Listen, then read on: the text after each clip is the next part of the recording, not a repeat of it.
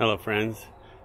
This is my sweetheart lychee, and I'll just have a little bit of fun. I was just watching a YouTube video about um, a savant, um, a guy that has some great mathematical abilities. He memorized pi after three weeks of practice to over 2,400 places, and he recited accurately in over five hours.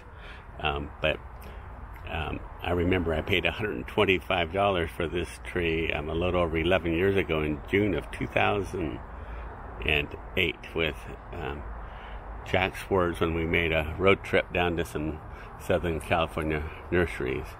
Um, bought it from Quang Ong.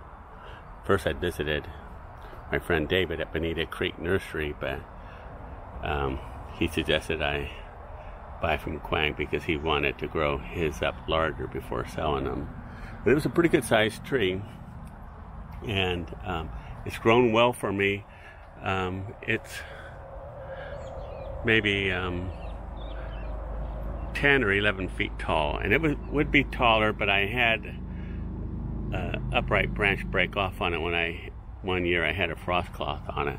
But I'll show you it's grown well, um, and I don't really do anything special with it. Um, some people on an old Yahoo rare fruit group suggested I not fertilize much because it maybe burns, but um, I do fertilize it some, and you know it's got some new growth coming on it here.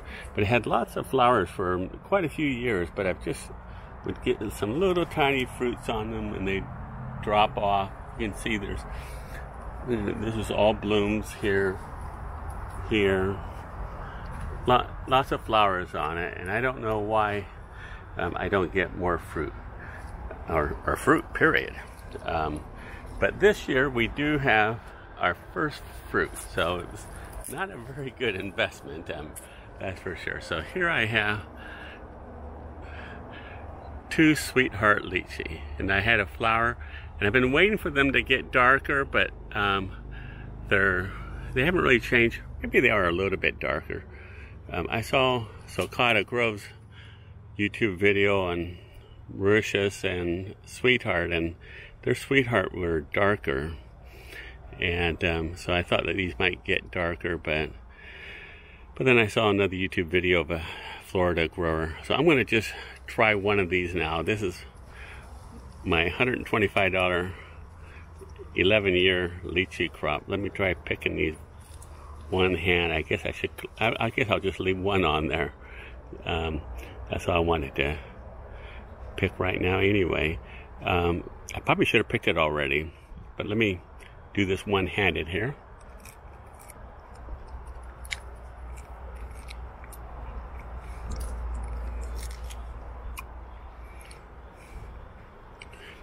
One thing, this variety, and it's got another name, I forget. I'm not a lychee expert by any means, but um, it's got another name, and there was maybe some controversy, someone just renaming a variety, and I guess um, maybe someone claims a trademark on Sweetheart, but I don't recall ever seeing any trademark actually being filed, so people can claim things, but they need to do some legal maneuvers to protect their rights too. But I'm not doing any marketing. I bought it as Sweetheart and just continue to call it as Sweetheart.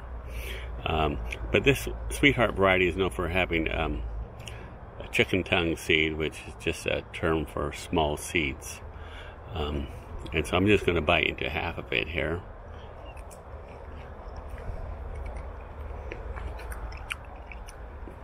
It is ripe. It's probably as good as any lychee I've had because usually they're not fresh as this. So it is a small seed.